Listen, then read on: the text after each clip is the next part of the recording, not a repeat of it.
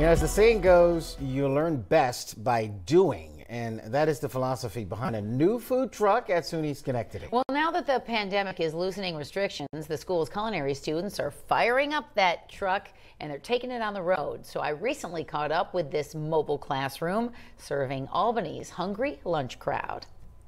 Picking up on a Buffalo Bill for Justin, please. This tight, hectic kitchen is a dream come true for these culinary students. This is Kathy Darmetko, and it's her first time working inside a state of the art food truck. This is the newest addition to Schenectady County Community College's culinary program. You got three coming your way, Kath.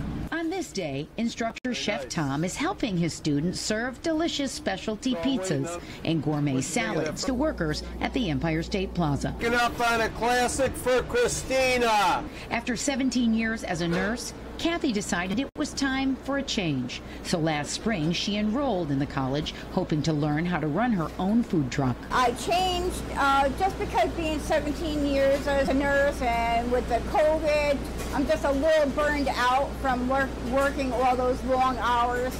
I know there'll be long hours here, but I always had a passion to um, cook. And sharing that passion for cooking is fellow student Carl Lurs. Nice job, Carl. Everything that I've learned in the school so far has been nothing but um, amazing. And everything that I've done throughout this whole class just increased what I've wanted to do, which is cook for the people. I just love it all. Morning, one pesto salmon. This is the only college level food truck in upstate New York and cost roughly $200,000. The school purchased it right before the pandemic hit, but then were not able to use it until now.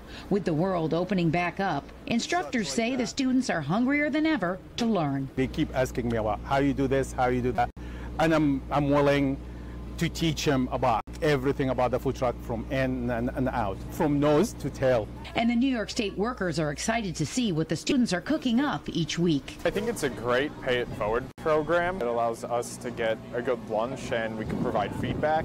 So I think it's an overall good experience that allows everyone to benefit. For both Carl and Kathy, they're learning firsthand that when a customer is excited, a food truck is successful. Making people happy through their stomachs because that's how you get people to come back. It's a lot of fun. Thank you, sir. Appreciate it. Thank you for supporting us. Appreciate it. Thank you. Thank you. And it looked a lot of fun. You know, that food truck has everything a proofer, a fryer, a grill. It's, it's, it's tricked out. I tell you what, tight quarters there, you know what I mean? Different than a regular kitchen. It's great that they're learning what they're going to be doing anyway, right? In, in, in a few uh, years from now.